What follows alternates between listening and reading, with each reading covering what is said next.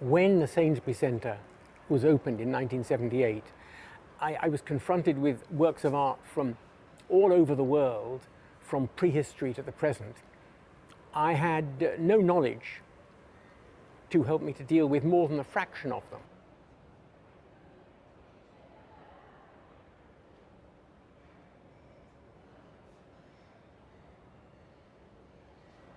I became interested in finding ways of studying art, which didn't mean you had to learn the language and read all the books about a particular place or particular artist.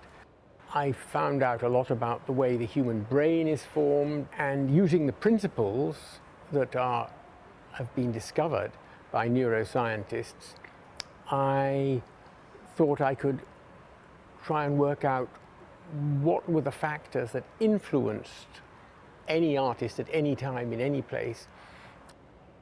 I wanted a, a way into the minds of all makers and I wanted to find a way of, of engaging with them. If people look at something very intensely, they're going to acquire visual preferences which are going to emerge in their work. The principles of neuroscience may provide a key to understanding those their particular visual preferences. If I now go through the Sainsbury Centre, I can see all sorts of ways in which their, the preferences of their makers can indeed be seen to be shaped by the experiences of those makers and patrons in their daily lives.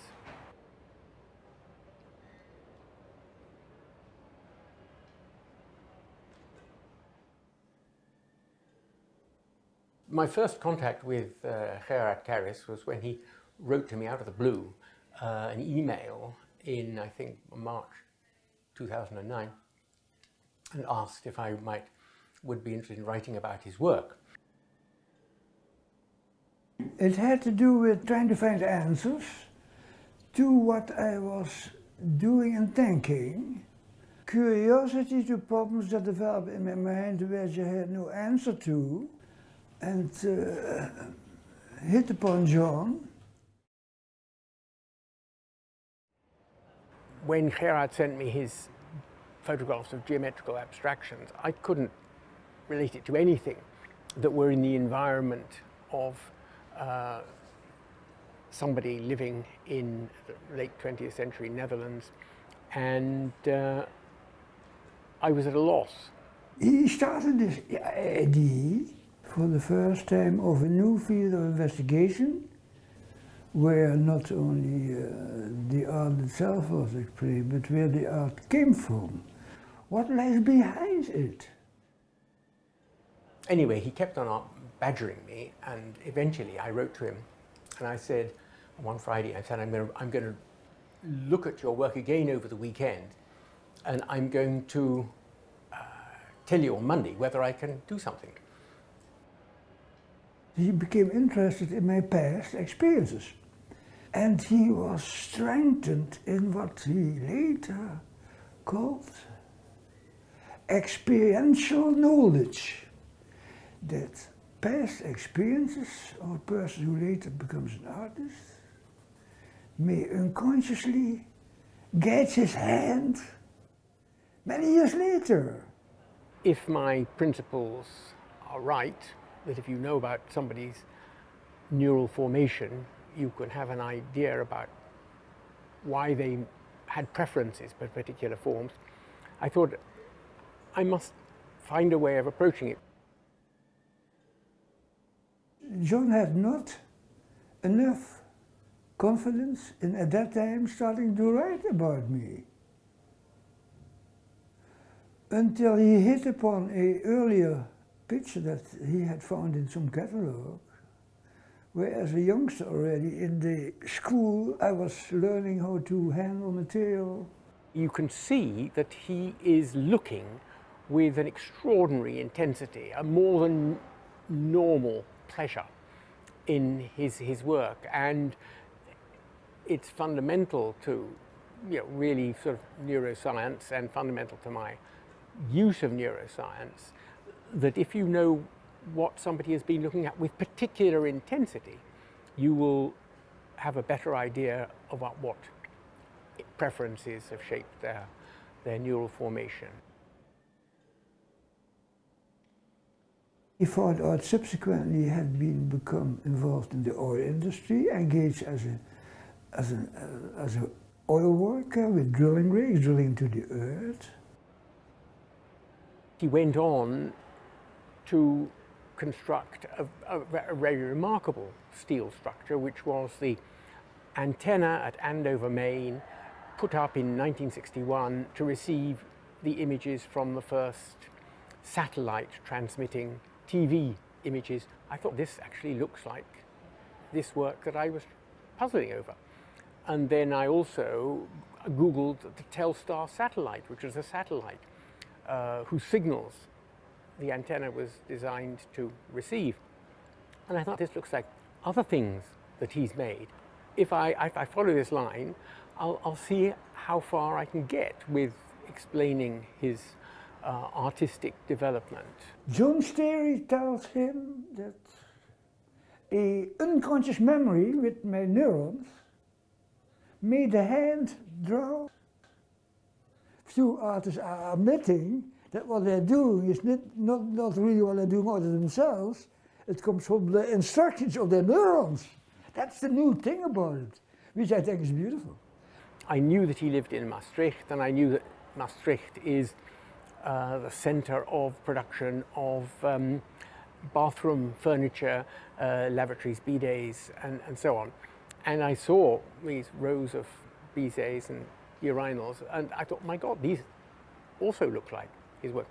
It's possible that if he'd had any exposure to the um, artifacts produced in the um, Sphinx sanitary ceramics factory, these might also have affected him. I went on working on this and uh, I said I, will send you something by the end of the week. Having made the observations which I've just referred to, in other words, noticing the similarities between the artifacts he'd been responsible for constructing.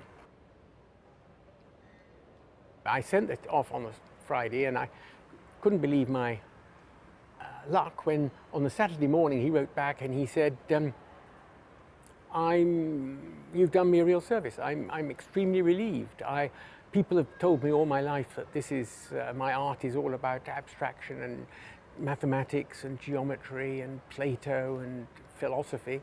And uh, I just knew it was in me and it had to come out.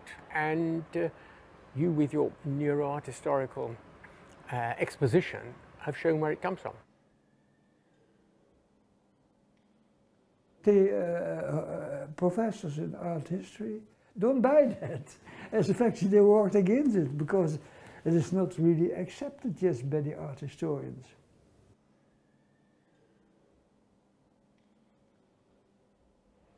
He wrote to me and he said, by the way, I should say that I do have some knowledge of the Sphinx factory because my grandfather worked there and there was a strike once and during which he, and during it he was able to show me round the factory.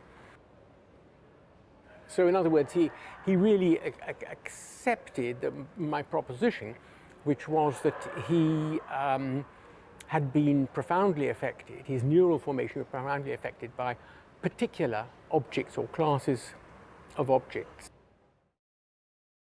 I subsequently uh, went to visit him in Maastricht. Yes. What is the, is the result what you see here?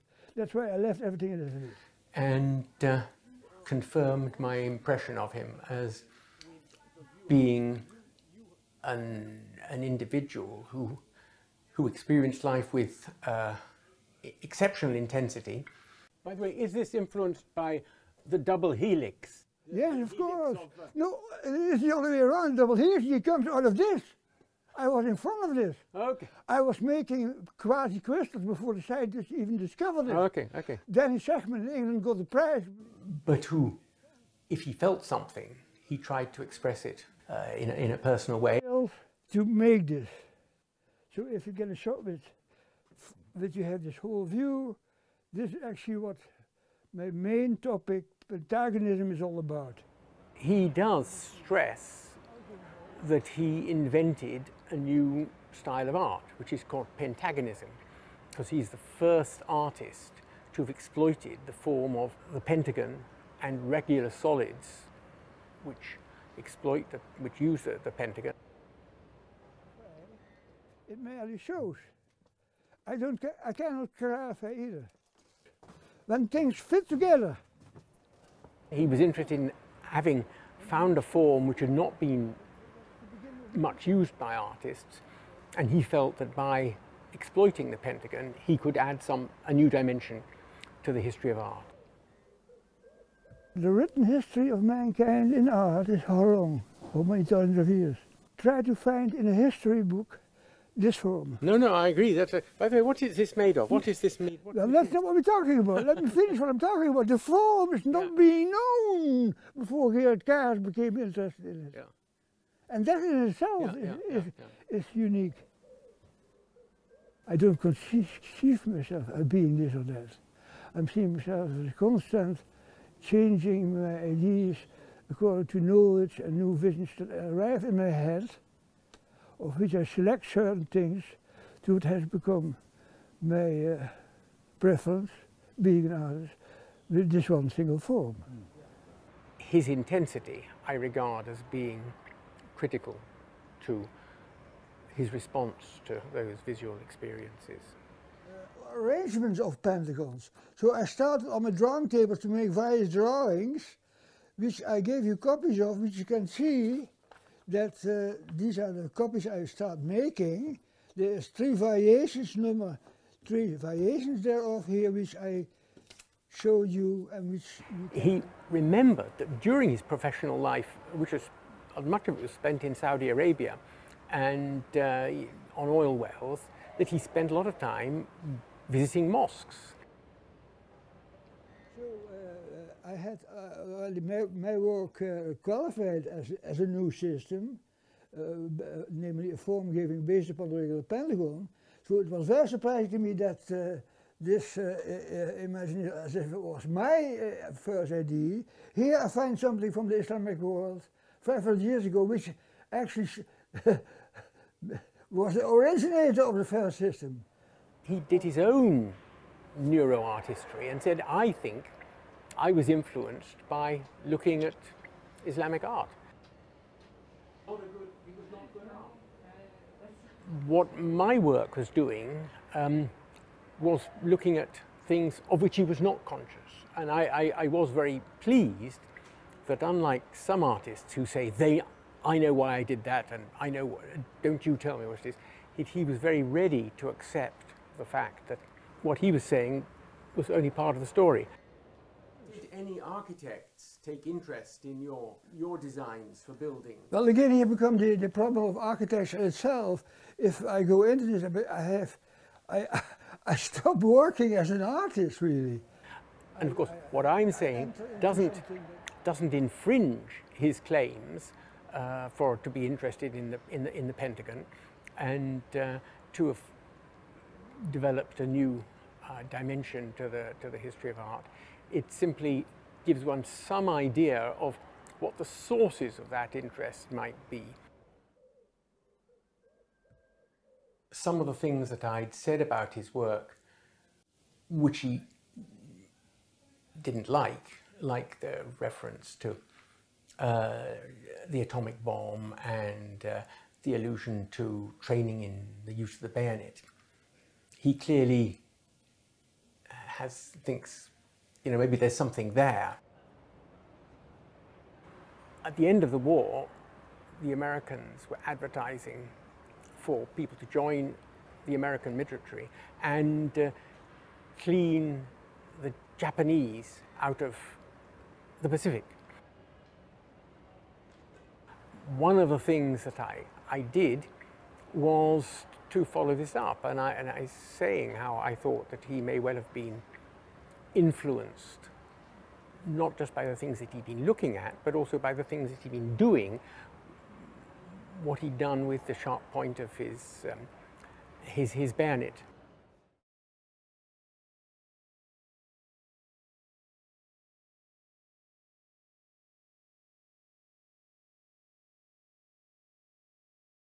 I could see that they, they look, those, the painting, the nucleation paintings and the painting of, of radiation look like the international sign for warning.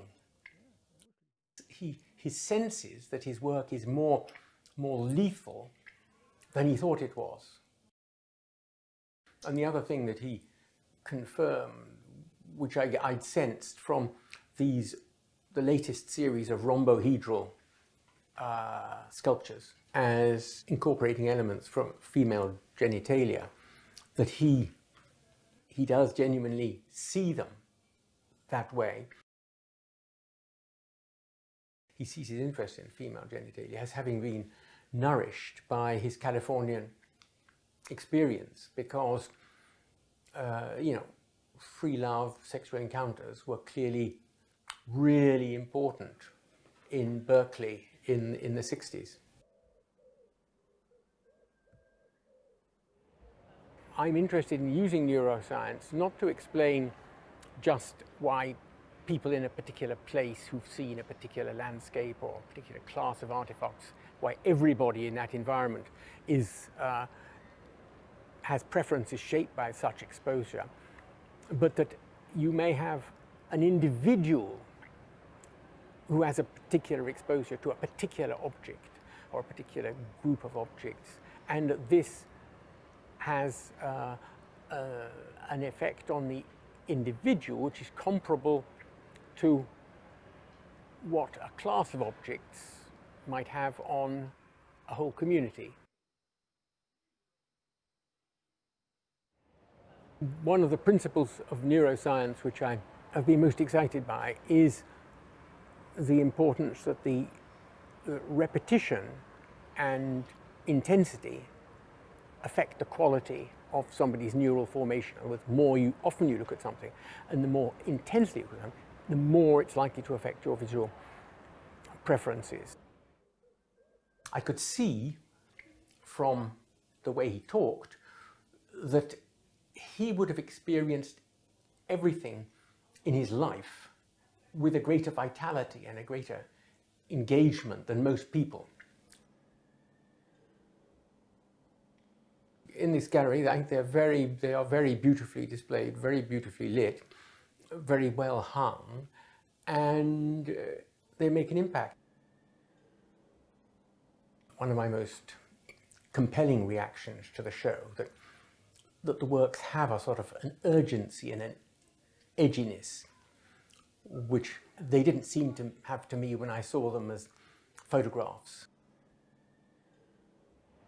In a case of somebody like Gerard, who is who has this, this, this an intensity affecting all aspects of his life, his neural resources would have been more profoundly affected by his experiences than most people are. Most people don't look um, with an intensity which is enough to fundamentally reconfigure the resources. He, he, he was, I think, uh, liable to be affected very powerfully. This has an important consequences for the quality of his works. And I give volume to it. And as he was not part of a herd or a fashion, it helps to understand why he's, he hasn't had an easy life as an artist. But it does explain, I think, why his art is exceptionally powerful to, to this day. This excites me no end. I'm excited by, by what it really means to be a, a creature of a family that seems to evolve into all of this greatness and get closer and closer every day to these new discoveries.